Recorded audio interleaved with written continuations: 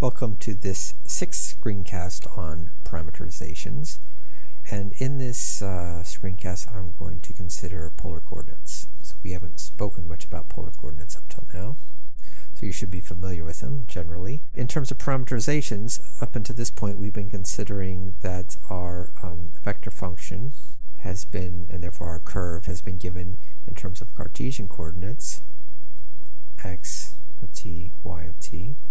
And uh, let me go ahead and draw a little picture here. We could give a point in terms of its Cartesian coordinates x, y, but uh, we could equally give the, uh, let me draw it this way, we could give this, this coordinate, this point, in terms of its r and theta values in polar coordinates. And so that's what I want to now discuss. Suppose, suppose instead of uh, r and, excuse me, x and y, we uh, have r of t theta of t. In terms of the, the notes and the homework, I've, I've tried to make this very clear that when we're in polar coordinates, I specify that I have r and theta, and then I will give explicitly, but here I'll just simply write f of t. I'll give some function of t for r, and then in principle some other function, some function of t for theta. In practice, uh, because that, in fact that's very often the case in this subject, this uh, function of t is in fact just t itself. That is to say, theta and t are the same. Um, the same. So the parameter t is the same as the parameter theta, which is to say that the parameterized curve that we're going to be considering, the parameterized curves are always of the form the radial coordinate is some function of the angular coordinate. And I really I want to illustrate this and we imagine now that we're going to want to describe some curve. Say that some curve like that. That's the, that's what we want to describe using using this form. Here's what I'm going to do. Um, I'm going to illustrate this dynamically, I hope. So this little line here, so you see this, it forms an angle theta with respect to the x-axis. That's theta, whatever it is, and its length is r. And so this curve now is going to be described as r is a function of theta. So as theta varies, the r will adjust in and out, whatever it has to do, so as to stay on the curve. So that's how I will give parameterization of the curve in polar coordinates. I'll give r as a function of theta. This is a, uh, a very rich uh, subject that we're only going to be uh, just touching upon. I'll give you some homework on it. The, um, there's a lot of uh, beautiful geometry. The, in fact, the, the thing that we are going to mostly need this for in practice is that in later calculations in the module, you're going to need to work in polar coordinates. For, for various reasons, certain kinds of integrals and other things will have to be done in polar coordinates, otherwise it'll just be too complicated. And yet, you're going to have to have some curve that you're going to, that's going to be part of the problem. And that curve, therefore, because you're working in polar coordinates, will have to be specified in polar coordinates. So you need to get used to, learn now, how to specify curves in space or in a plane uh, in terms of polar coordinates, that to say, specified this way, not just uh, this way. Hopefully that's motivation. All right, so let's see. The, the, the example given in the notes is the following. R theta is 2r sine t t. And as I've already said, that is to say, r will be equal to 2r sine theta. Let's just go right for that. So that's that's the that's the curve that I want to to understand, and I tell you that theta, the t, and therefore theta, is in naught to pi. Right? And if you read the notes, it'll tell you the answer. The answer is that this is a circle of radius r um, centered upon the point um, x equals 0, y equal r. But how do we understand that? Um, let's give a go. Let's just first see if that uh, intuitively makes any sense. I'm not sure it would be uh, immediately obvious to you from this that that is in fact a circle. But let's uh, let's go and do it. Again, draw yet again our coordinate system. And again, I'm going to play the same game. I'm going to, I don't think I'm going to do it in, in yellow though here and make it bold.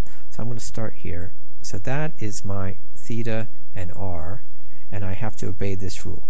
So I'm, just going to say it and you have to follow along. So theta is going to start at 0. That theta is equal to 0. And when theta is equal to 0, r is 0. So I'm at the origin. Okay?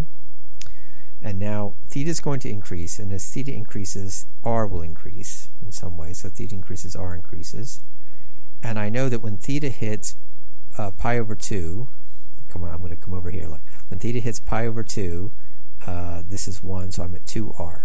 So I started here at 0, and I end up, and I'm at 2r. I'll say that that's 2r.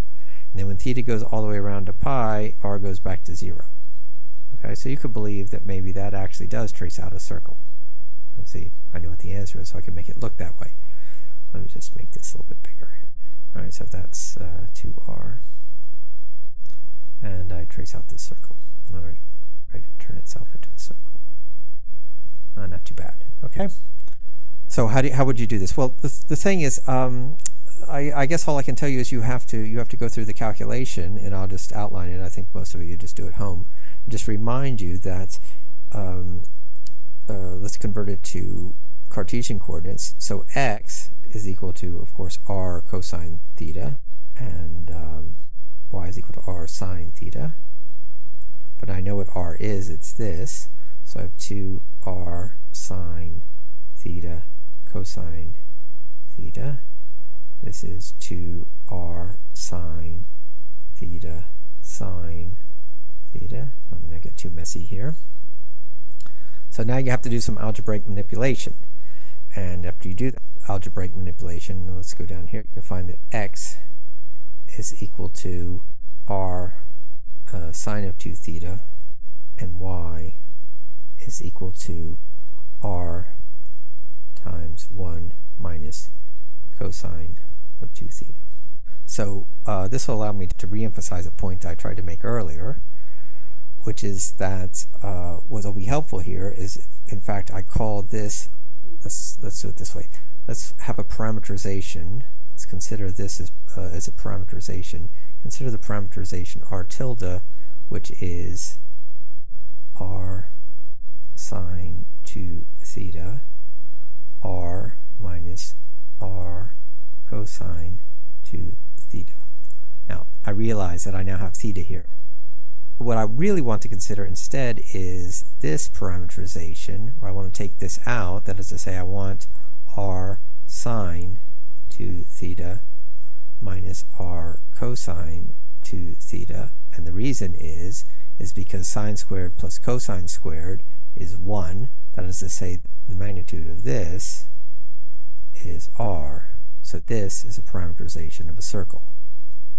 I have to verify that it goes all the way around, etc. But it is nevertheless a circle centered on origin. That's important. And of course what I have is that because of the way I've written it, that r tilde is equal to r plus the vector 0 r. So let's just do it. Let's graph it. Again, now I'm working in Cartesian coordinates. I've gone on to Cartesian coordinates. Just remind you here that theta, here it is, theta was between naught and pi, which means that this 2 theta, fortunately, will be go between naught and 2 pi, and so you'll get a full circle out of this.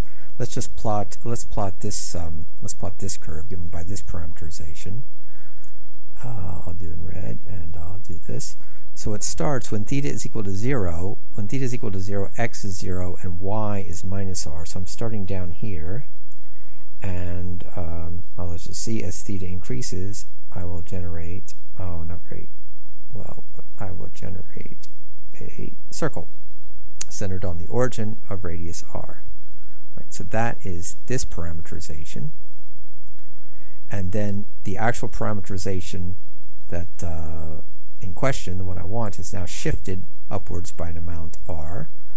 And I will do that now by grabbing this, I hope. So this is the r, the, parameter, uh, the r parameterization. And now I will paste and put, this is the one that I care about, is the actual parameterization that I want. Um, this is my circle of radius r centered on the point 0, comma r. hopefully, uh, anyway, you can follow through that algebra and do this. And I believe that's all I have to say, at least for the moment, on polar coordinates.